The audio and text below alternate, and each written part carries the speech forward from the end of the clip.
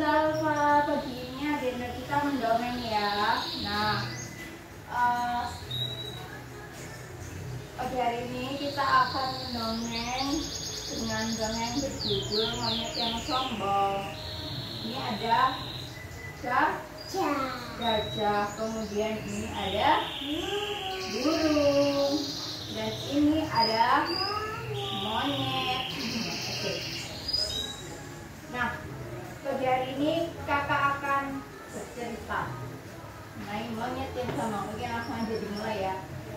Di suatu hutan yang rimbun hiduplah seekor burung pipit bernama Bubu. Nah, kebiasaan burung ini, kebiasaan Bubu adalah setiap pagi ia mengelilingi hutan untuk melihat keadaan hutan. Kemudian uh, di suatu tempat di sisi hutan ia melihat seekor harimau di mana harimau itu sedang menerkam dan memangsa tikus.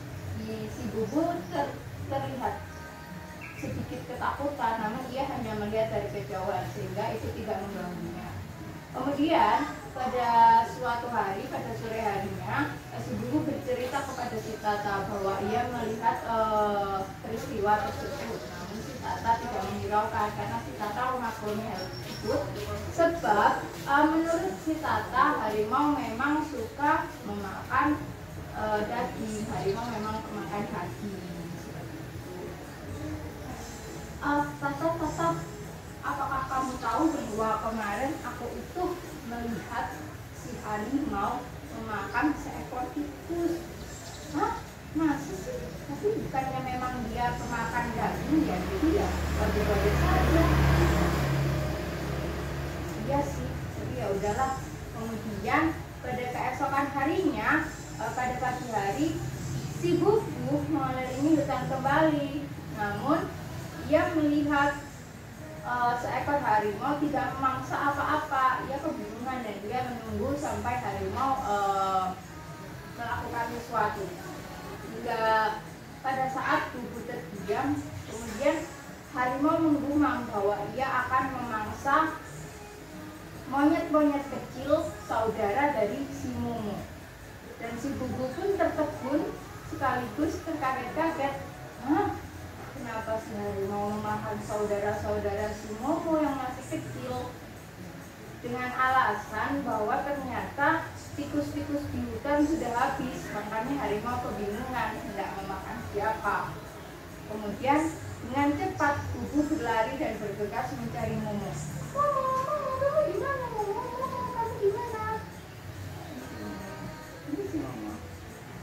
Bubu, kamu kenapa mencari aku? Kamu kenapa sih teriak-teriak? Momo, Momo, aku ada berita penting bahwa kamu harus menjaga adik-adikmu sebab harimau akan memangsa adik-adikmu. Ah, kamu suka bohong. Kenapa harimau memakan monyet apalagi yang masih kecil? Lucu kamu. Masa iya harimau makan monyet? Harimau kan makannya tikus. Aku bicara sungguhan, aku tidak bohong. Harimau berencana memakan adik-adikmu sebab uh, tikus-tikus di hutan ini sudah habis. Jika dia kebingungan akan memangsa siapa. Ah sudahlah, aku tidak peduli perkataanmu, kamu tidak bisa dipercaya. Karena uh, si Momo yang menghiraukan perkataan si Bubu, maka Bubu sangat sedih. Padahal Bubu berkata jujur. Kemudian Tata memberi semangat. Sudahlah Bubu dan Momo memang seperti itu. Lalu bagaimana ini Tata? Bagaimana kita Momo? Uh, kita buat jebakan saja. Kita buat jebakan saja uh, supaya uh, harimau tidak bisa harimau tidak bisa memakan adik-adik si Momo. Baik gimana?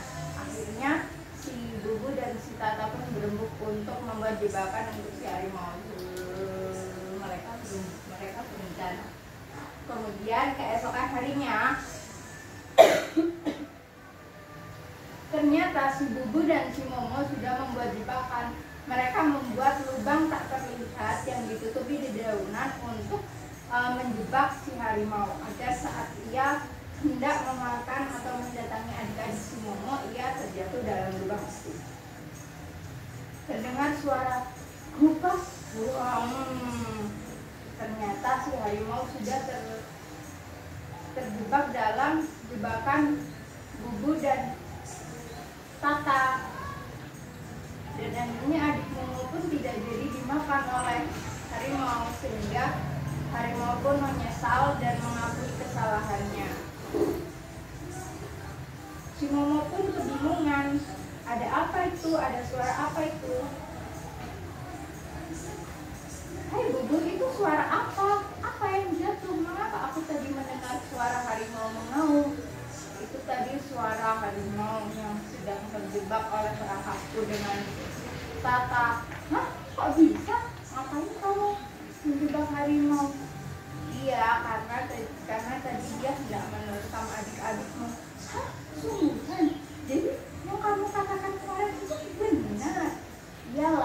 Ngapain aku bohong?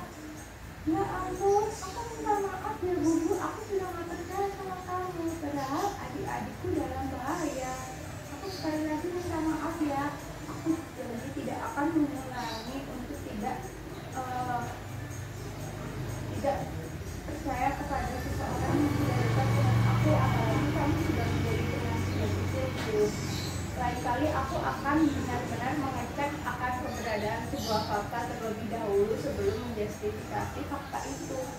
Ia tidak apa-apa Momo sehingga e, mereka bertiga pun antara Bubu, Momo dan Tata berusaha menolong si harimau untuk keluar dari lubang tersebut. Jadi pelajaran dari dongeng ini adalah untuk tidak mudah e, menjustifikasi seseorang ya, jangan mudah mencela atau e, melihat sesuatu dari sudut satu sudut pandang saja seperti itu. Oke okay, sudah selesai